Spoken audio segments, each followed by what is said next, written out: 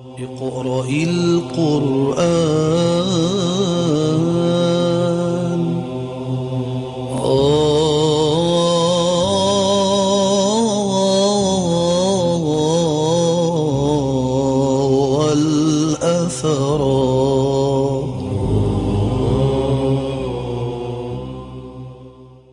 بسم الله الرحمن الرحيم. الحمد لله رب العالمين. وصلى الله على سيدنا محمد وعلى آله وصحبه الطيبين الطاهرين. نكمل إن شاء الله تعالى في تفسير سورة الواقعة. أعوذ بالله من الشيطان الرجيم. والسابقون السابقون. هؤلاء السابقون المؤمنون الأتقياء السابقون إلى الخيرات السابقون إلى الجنات. أولئك المقربون. أولئك المقربون. أولئك أصحاب الدرجات الرفيعة العالية. نسأل الله عز وجل أن يجعلنا من هؤلاء. في جنات النعيم. يكونون في الجنة في دار السلام. ثلة من الأولين. الثلة الجماعة الكبيرة. في السابقين جماعة كبيرة من متقدمي هذه الأمة من حيث الزمان. فقول الله عز وجل ثلة من الأولين أي من متقدمي هذه الأمة عددهم كبير الذين هم من السابقين. وقليل من الآخرين. أي يقل عددهم في متأخري هذه الأمة من حيث الزمان. أي متأخرو هذه الأمة من حيث الزمان السابقون منهم هم الأقل ليسوا الأكثر. ثم قال الله عز وجل على سرر موضونة. أي يجلسون على سرر موضونة منسوجة بالذهب مشبكه بالدر والياقوت. متكئين عليها متقابلين. يجلسون متكئين. هذا الاتكاء هو عن راحة وخلو القلب عن أي هم وغم. يجلسون متناعمين على هيئة المتكئين. وقال عز وجل متقابلين. ينظر بعضهم إلى بعض. ينظر الواحد إلى وجه أخيه. لا تدابر بينهم ولا تباغض بينهم. الله عز وجل قال ونزعنا ما في صدورهم من غل. نسأل الله عز وجل أن يجمعنا جميعا في الجنة. ثم قال الله عز وجل يطوف عليهم ولدان مخلدون. يطوف على هؤلاء السابقين ولدان مخلدون.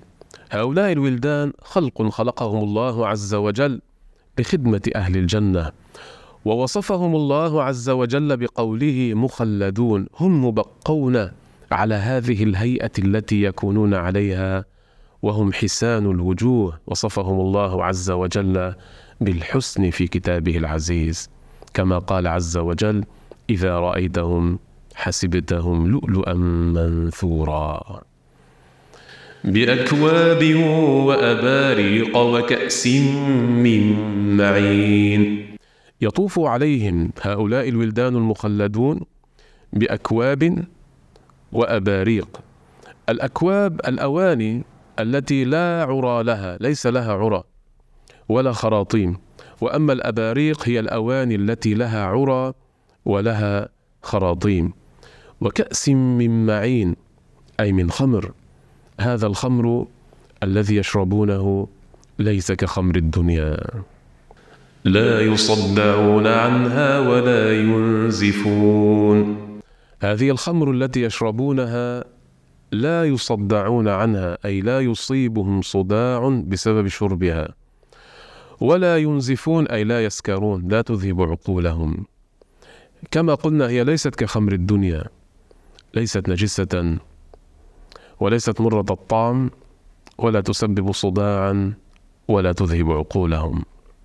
وفاكهة مما يتخيرون. أي يطوف عليهم الولدان المخلدون بأنواع كثيرة من الفاكهة مما يختارون ويشتهون. ولحم طير مما يشتهون. إذا اشتهى الواحد في الجنة طيرا يجده حاضرا أمامه فورا مشويا. وحور عين. أي ولهم حور عين. الحور جمع حوراء والحوراء هي شديدة بياض العين شديدة سوادها.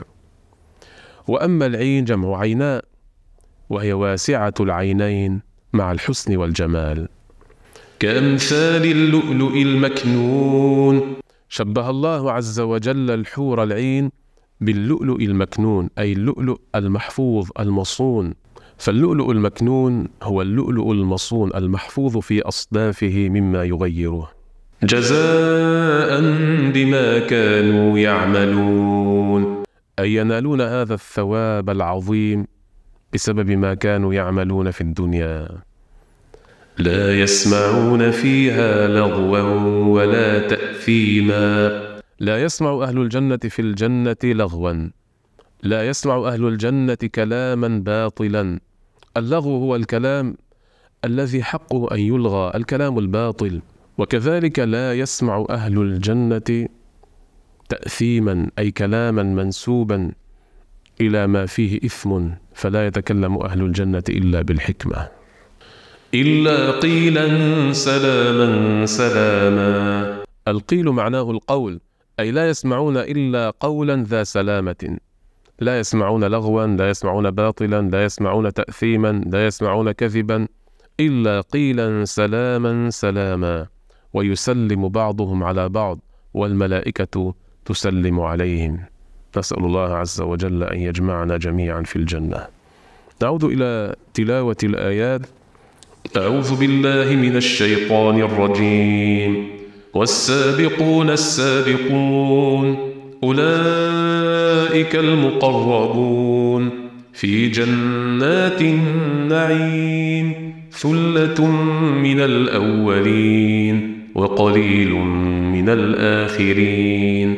على سرر موضونة متكئين عليها متقابلين. يطوف عليهم ولدان مخلدون بأكواب وأباريق وكأس من معين لا يصدعون عنها ولا ينزفون وفاكهة مما يتخيرون ولحم طير مما يشتهون وحور عين كأمثال اللؤلؤ المكنون جزاء بما كانوا يعملون. لا يسمعون فيها لغوا ولا تأثيما إلا قيلا سلاما سلاما. صدق الله العظيم.